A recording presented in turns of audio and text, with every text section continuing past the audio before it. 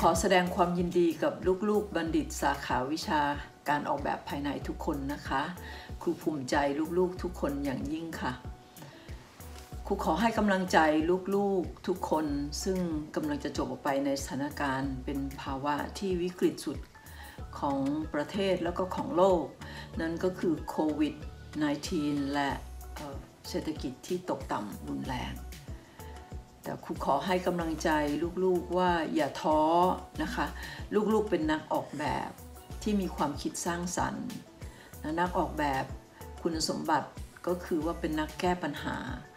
เป็นผู้ที่ทำให้คุณภาพชีวิตของผู้อื่นดีขึ้น และทำให้โลกใบนี้น่าอยู่ขึ้นนะคะ เพราะนั้น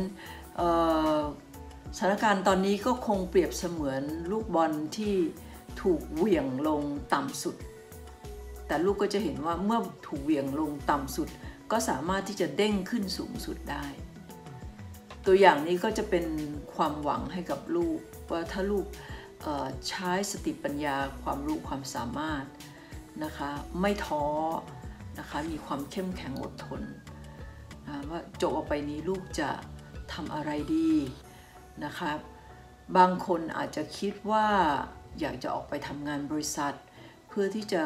หาประสบการณ์จากบริษัทใหญ่ ๆ ซึ่งตรงนี้เนี่ยครูก็คิดว่าเป็นสิ่งที่ดีและลูกก็ควรจะ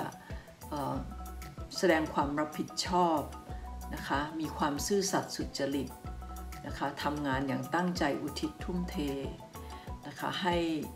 ทุกคนในบริษัทเนี่ยไว้วางใจในตัวลูกได้ บางคนก็อาจจะออมองถึงอาชีพอิสระ เพราะว่า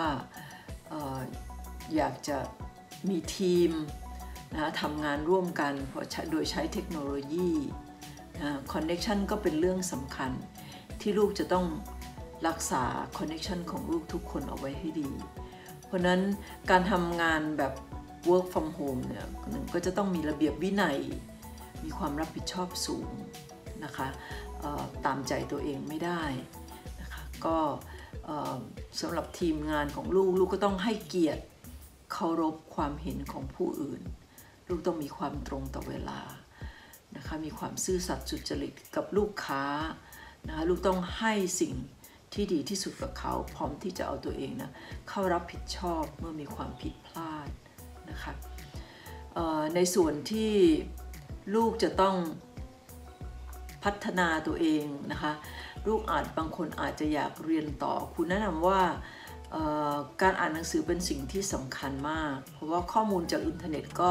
เวลานี้ก็หาได้เยอะมาก แต่ก็ไม่ลงลึกเท่ากับในหนังสือเมื่อครูเปิดหนังสืออ่านจะมีอะไรลึกๆให้อ่านเยอะมากนะคะ ถ้าอยากจะเป็นนักวิชาการในอนาคตเราก็ต้องไปเรียนต่อเป็นขั้นสูงอย่างน้อยก็ปริญญาโทหรือต่อไปถึงปริญญาเอกนะคะการเรียนปริญญาโทสาขาออกแบบ ถ้าจะเลือกเรียนนะคะครูก็ว่าที่มหาวิทยาลัยรังสิตของเรา หลักสูตรปริญญาโทก็เปิดมา 20 กว่าปี ถือว่าเป็นหลักสูตรที่แข็งแกร่งที่สุดนะคะมีวิธีคิดที่ใหม่ที่สุด มีนักออกแบบที่มีชื่อเสียงของประเทศไทย มาเรียนกันจำนวนมากนะคะ ก็อยากจะให้